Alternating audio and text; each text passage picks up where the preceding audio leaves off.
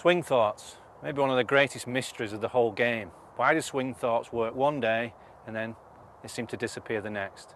Well, for me, it's not so much about the swing thought, it's about the fact that you have parked your attention, you've put your attention in one place. Now, the golden rule from the mental part of the game is that you have four options.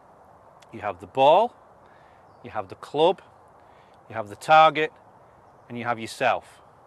So for instance, I could actually play this shot and just focus my attention all the way through the swing on the golf ball. Or I may focus my attention on the club. But the key thing is you need to pick one of the four options and hold your attention in one place.